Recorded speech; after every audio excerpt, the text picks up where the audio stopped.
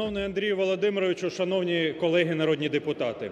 Провідні дослідницькі центри світу прогнозують майбутнє країн не тільки на 3-5 років, а на 30-35 років наперед. Всесвітньо відомий дослідницький підрозділ The Economist розрахував траєкторію розвитку України до 2050 року. Ви знаєте, який середньорічний темп зростання економіки вони нам пророкують? 1 відсоток річних.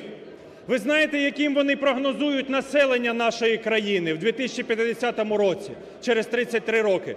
32 мільйони українців. 32 мільйони. Причому аналогічний прогноз зробив і Світовий банк. Що це означає? А це означає, що провідні міжнародні експерти бачать майбутнє України як периферійної сировинної країни з маленькою економікою.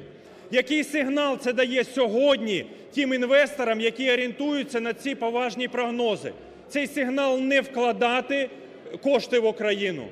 На чому ґрунтуються ці прогнози? На аналізі тієї політики, яка здійснюється в Україні.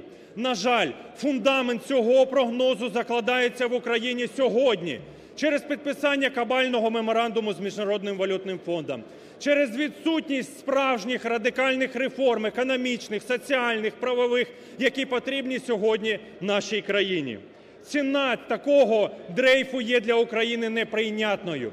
Це означає, що ми наздоженемо Польщу зразка 2015 року. Вдумайтесь в це, шановні колеги, в 2080 році. Якщо Польща буде стояти на місці, ми наздоженемо їх в 2080 році. Треба радикально міняти сьогодні економічну, монетарну, соціальну політику в країні.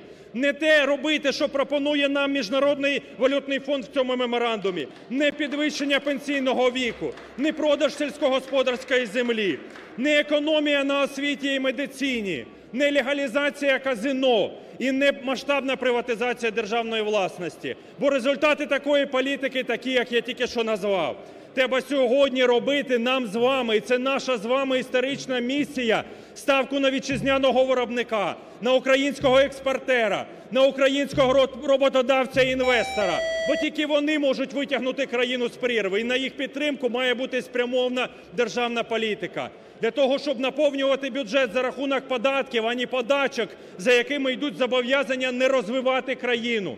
Оце сьогодні треба робити для того, щоб подолати безробіття, зупинити ту шалену хвилю еміграції, яка відбувається з України. Закликаю вас підтримати цю політику фракції Радикальної партії, всіх проукраїнських депутатів в цьому парламенті. Дякую.